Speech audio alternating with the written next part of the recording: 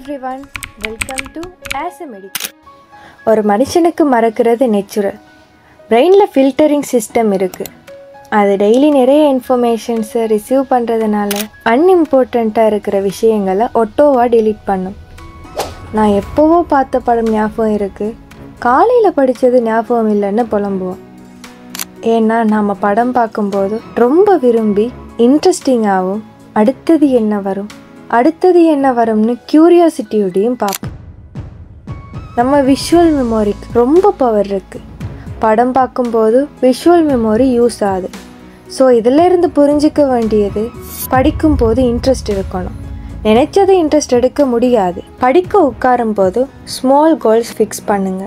For example இப்போ one hour நீ concentrate பண்ணி படிச்சின்னா கண்டிப்பாக நீ டாக்டர் ஆகிடுவேன்னு. இல்லை உங்கள் ட்ரீம் எதுவோ நீ லோயர் ஆகிடுவ நீ டீச்சர் ஆகிடுவ நீ என்ஜினியர் ஆகிடுவேன்னு உங்கள் கோலை உங்கள் மனசுக்குள்ளேயே சவாலிடுங்க சோனி படிக்கலைன்னா உன் கோலை அச்சீவ் பண்ண முடியாது. அந்த பயத்திலேயே உட்காந்து படிப்போம். அப்புறம் நம்ம மனசே சொல்லும் இந்த ஒன் ஹவரே படிச்சுட்டு இன்னும் ஹாஃப் அன் ஹவர் படிக்கலாமேன்னு. இவ்வாறு டைமை இன்க்ரீஸ் பண்ணிகிட்டே போகலாம். ஒவ்வொரு செஷனுக்கு அப்புறமும் ரிவார்ட் கொடுங்க. ஒன் ஹவர் படிச்சீங்கன்னா ஃபிஃப்டீன் மினிட்ஸ் ஃபோன் பார்க்கலாம். ஒரு உங்கள் இஷ்டமான விஷயத்தை ஒரு ஃபிஃப்டீன் மினிட்ஸ் செய்யலாம்னு டிசைட் பண்ணுங்கள் அது உங்களுக்கு ஒரு இன்ட்ரெஸ்டிங்காக இருக்கு. ஃபன் மெத்தட்ஸ் யூஸ் பண்ணுங்கள் கெமிஸ்ட்ரியில் உள்ள கொதிநிலை உருகுநிலையோட உங்கள் வாழ்க்கையில் இருக்கிற சில விஷயங்களை வச்சு ஞாபகம் வைங்க. அண்ட் இப்போதான் ஃப்ரெண்ட்ஸ் எல்லோரும் வாட்ஸ்அப்பில் டச்சில் தானே இருக்கீங்க. ஸோ எல்லோரும் இந்த டைமிங் படிப்போம்னு டிசைட் பண்ணி அந்த டைமிங்க்கு படிங்க. அண்ட் படித்த அப்புறம் படித்த டாபிக்ஸ் இல்லை நான் படித்த டைமிங்கை வாட்ஸ்அப்பில் அப்டேட் பண்ணுங்கள் உங்கள் ஃப்ரெண்ட் படிக்கான்னு ஃபீல் பண்ணியே நீங்கள் படிப்பீங்க. என் உங்கள் ஃப்ரெண்டும் படித்து இரண்டு பேருமா சேர்ந்து முன்னேறலாம். முன்னால் சொன்ன ஸ்டடி வித் மீ வீடியோஸ் அது ரொம்ப ஹெல்ப்ஃபுல்லாக இருக்கும். இவ்வாறு ட்ரை பண்ணீங்கன்னா இன்ட்ரெஸ்டிங்காக நிறைய நேரம் படிக்கலாம். என்னதான் நிறைய நேரம் படித்தாலும் எவ்வளோதான் படித்தாலும் படித்தது நெக்ஸ்ட் டேயே மறக்குதுன்னு ஃபீல் பண்ணுவீங்க. பட் அதுதான் இல்லை. ஒரு விஷயத்தை ஒரு முறையே படித்து நெக்ஸ்ட் டே ஃபுல்லாக கிறிஸ்டலின் கிளியராக ஞாபகம் இருக்கணும்னு நினச்சிங்கன்னா அது பேராசை. நெக்ஸ்ட் டே பார்க்கும்போது கொஞ்சம் கொஞ்சமாக ஏதோ படித்தோம்னு ஞாபகம் வந்ததுனாலே ஓகே தான். டூ ஹவர்ஸ் படித்ததை நெக்ஸ்ட் டே ஹாஃப் அன் ஹவரில் படிக்கலாம். ஸோ மறுபடி படிங்க. ஒரு நாள் விட்டு ஃபோர்த் டே மறுபடியும் படிங்க. தென் செவன்த் டே மறுபடியும் படிங்க. லாஸ்ட் இருபதாவது நாள் ஒரு ஹாஃப் அன் ஹவர் ஸ்பெண்ட் பண்ணி அதை திரும்ப படிங்க. இதை தான் சொல்கிற ஸ்பேஸ்ட் ரெப்பிட்டிஷன் யாருக்குமே ஃபஸ்ட் டே படித்ததும் எல்லாமே மெமரியில் சர்வ் ஆகி நீண்ட நாள் இருக்காது. பயாலஜிக்கு ஸ்பேஸ் ரெப்பிட்டிஷன் ரொம்ப மஸ்ட்னு சொல்லலாம்.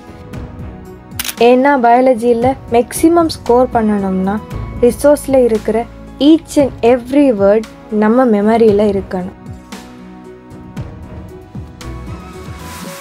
பயோ படிக்கும்போது ஃபர்ஸ்ட் டைமே எஸ்ஏக்கு மெமரைஸ் பண்ண வேணாம்.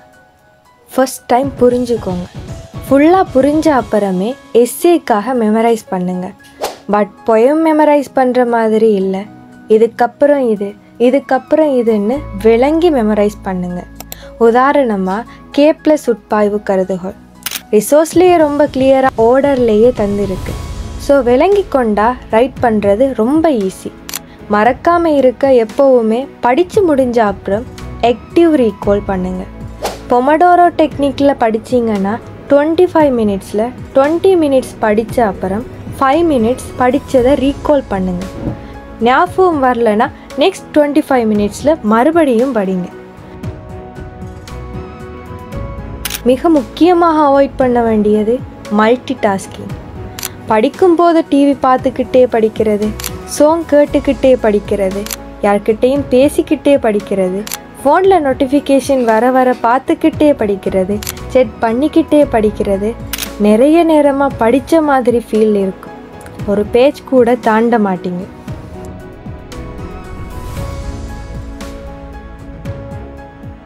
புக்கு ஓப்பன் பண்ணாதான் அவன் சொன்ன கதை ஃப்ரெண்ட்ஸ் சொன்ன கதை ஸ்கூலில் நடந்த ஃபன் மூமெண்ட்ஸ்லாம் ரிமெம்பர் ஆகும்.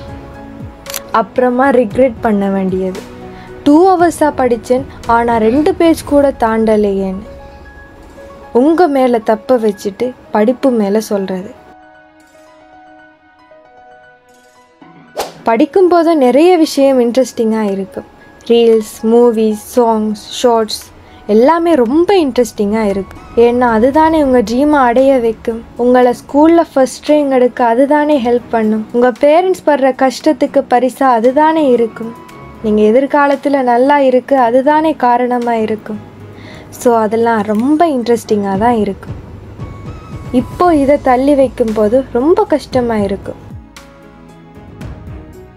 எல்லோருமே ட்ரிப் பார்ட்டி கெதரிங்னு இருக்கும்போது நீ இருந்து படிக்கிறல்ல கஷ்டமாக தான் இருக்கும் ஆனால் உன்னோட ரிசல்ட்ஸ் வரும்போது புரியும். இதெல்லாம் ஒரு கஷ்டமாகவே தெரியாது. இதுவே பெரிய கஷ்டம்னு நினைக்கிறியே? உன்னோட ட்ரீமை அடைய முடியாதுன்னு உன்னோட ரிசல்ட் சொல்லும் போது வர கஷ்டத்துக்கு மேலேயா இது கஷ்டம்?